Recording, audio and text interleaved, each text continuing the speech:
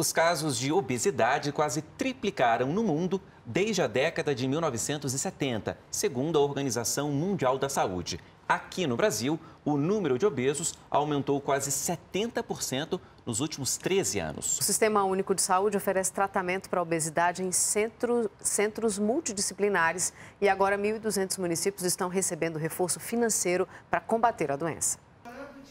Insônia, dores no corpo, falta de ar, sintomas que faziam parte do dia a dia de Regina. Ela já chegou a pesar 103 quilos. Eu precisava de ajuda, porque eu não me olhava, não me amava mais. Jocely entrou há pouco no grupo Vida Saudável. Psicólogo, né, nutricionista, endocrinologista e eles ainda estão tentando trabalhar para ver se colocam um cardiologista, isso é muito importante. Pelo SUS eu estou amando. Esse centro multidisciplinar foi criado há dois anos para garantir qualidade de vida e saúde às pessoas como Regina e Jocely, que desenvolveram doenças ligadas ao sedentarismo e à obesidade. O programa Vida Saudável já tratou quase 200 pacientes com pesos entre 90 e 220 quilos. 60 60% dos pacientes que passam por aqui conseguem perder até 10% do peso inicial em dois anos de tratamento. O grupo educativo fortalece o tratamento, motivando principalmente para a mudança de estilo de vida. Nos últimos 13 anos, houve um aumento de quase 70%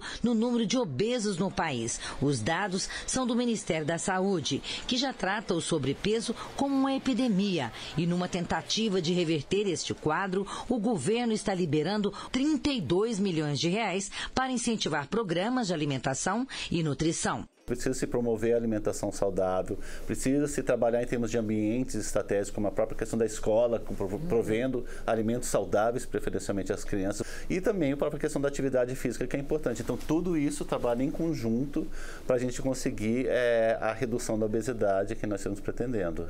Vou chegar lá, eu tenho que chegar lá, eu preciso chegar lá. Para saber onde tratar a obesidade no seu município, basta ligar no número no Disque Saúde, né? O telefone é 136 e a ligação é gratuita.